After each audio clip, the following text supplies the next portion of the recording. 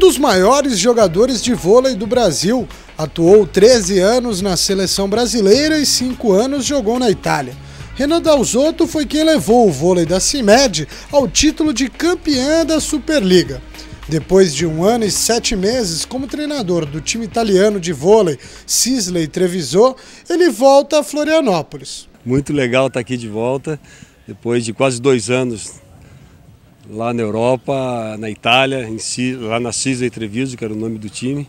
Eu estou muito feliz de estar aqui, é, principalmente trabalhando de volta na CIMED, que é um projeto que eu idealizei, projeto que começamos há quatro anos atrás e que teve é, um grande sucesso até, até o momento. E a, a ideia é, assumindo aqui essa gestão do esporte da CIMED, é fazer com que a gente cresça cada vez mais. Né?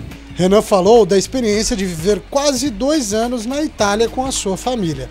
Todas os, as decisões que foram tomadas na minha vida nos últimos anos foram sempre decisões é, é, familiares, né? sempre pensando na família. Hoje eu tenho dois filhos, o Gianluca e o Enzo, de 15 e 10 anos, e nós achávamos que era uma oportunidade maravilhosa para que eles pudessem aprender o italiano, escrever, enfim.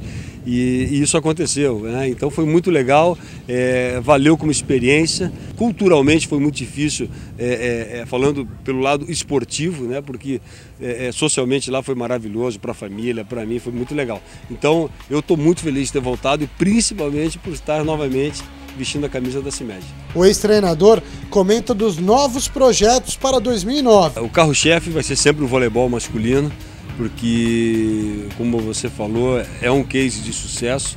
Em três anos foram três finais, dois títulos, e isso é, é, é muito legal.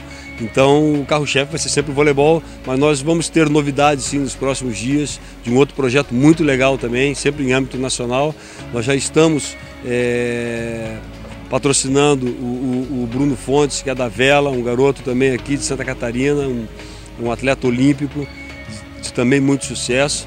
E a gente está com ele nessa caminhada para ver se ele consegue também atingir é, e buscar uma medalha olímpica. Temos outros projetos menores. Nos anos precedentes, a CIMED sempre investiu muito no automobilismo. Então, nós vamos começar a, a, a criar uma linha né, de raciocínio, uma estratégia para ter um pouco a cara da CIMED. Boa sorte nessa sua nova empreitada e que Florianópolis continue vitoriosa no esporte, no vôlei e outros esportes que a CIMED vai trazer. Valeu, Deus te ouça. A gente é, é, trabalha para isso, para conquistar é, bons resultados e que principalmente os projetos que a gente esteja por trás, como hoje o da CIMED, sejam vistos sempre com bons olhos, né? que tragam bons exemplos, principalmente para essa garotada.